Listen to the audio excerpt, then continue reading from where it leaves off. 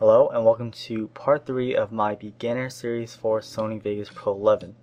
In this tutorial I'm going to be showing you some of the options that the text media generator comes with in Vegas Pro 11.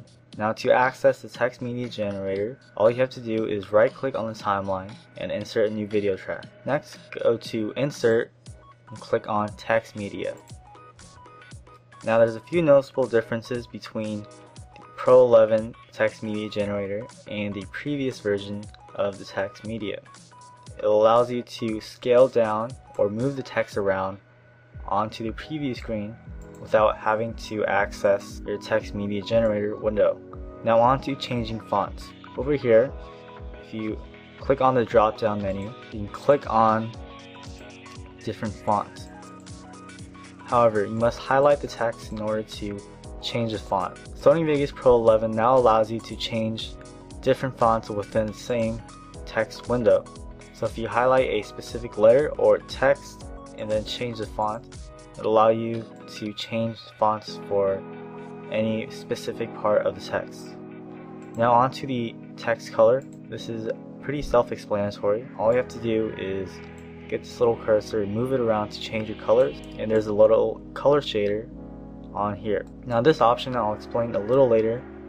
Another new part of the text media generator in Pro 11 is the animation option. So if you select an animation, play through, it's going to animate your text. Now the animation duration depends on the duration of the text media generator. So by default, the text media is set to 5 seconds long. If you change it to 10 seconds, it'll allow you to drag out the text media generator or extend it to about 10 seconds. If you go past the 10 seconds, it'll have this little break or this little gap right here.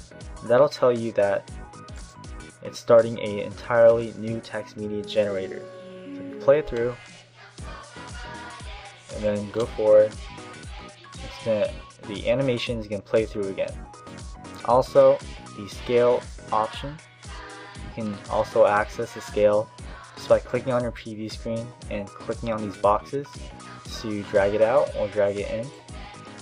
Go to location, same thing, all you have to do is click on the cursor and click and hold and drag it around to move it around your screen. You can also do this onto the preview screen.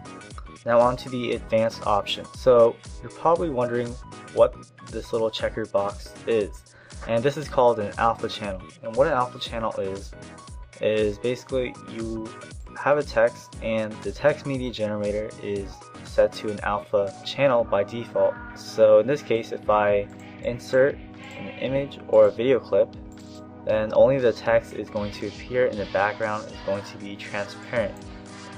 Now we can also do this for the text. So if you change the background to a different color, and in order to change the color of the background, you need to get this little scroll option, make sure it's set all the way up, and then change your color. So go back to the text option, and bring down this little scroll option down all the way down.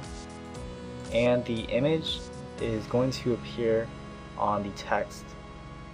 And this will only work if your image is at the bottom of the text track. So if you place an image on top, that won't allow you to have transparent text or background. Now on to tracking. So tracking is basically the spacing between each individual letter of your text. So if you increase it, it's going to increase the space between your letters. If you decrease it, it's going to decrease the space of your letters. Also, if you have two lines of text, such as this one, if you increase the line spacing, it's going to obviously increase the spacing between the two lines of text. Now onto the outline option. So the outline is basically a text outline around your text. So if you increase the outline width option, it's going to have a different color outlining the existing text. You can also change the outline color by clicking on this little box and make sure this is set all the way up and now you can change the color of your outline. On to the last option called shadow and this will enable shadow for your text. So if you enable the shadow just by clicking on this. It's going to generate a shadow according to your text. You can also change the color of your shadow by accessing the color options and you can change the location of the shadow by increasing or decreasing shadow offset X or Y. So the shadow offset X, if you increase it, all the way to the right, it's going to go to the right on the x-axis. You change the y offset, it's going to change it according to the y offset, which is up or down. And you can also change the blur of the shadow. So if you increase it, it's going to blur out your shadow more. And now on to the animation options within the text media generator. Now by animation, I don't mean by this animation right here. You can't control how fast or how slow this animation goes, but you can control the animation of several components of the text media generator. So for example, if you want to change the color of the text, say from blue to red, what you need to do is click on this little button called animate. And by default, it's going to set a keyframe at the very beginning of the text media. Now, if you want it to start changing at about 5 seconds, Go forward on 5 seconds on this little timeline.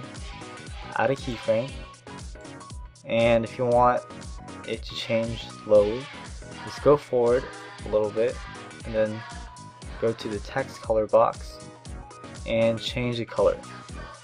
So if you preview it, the color is slowly going to change to red.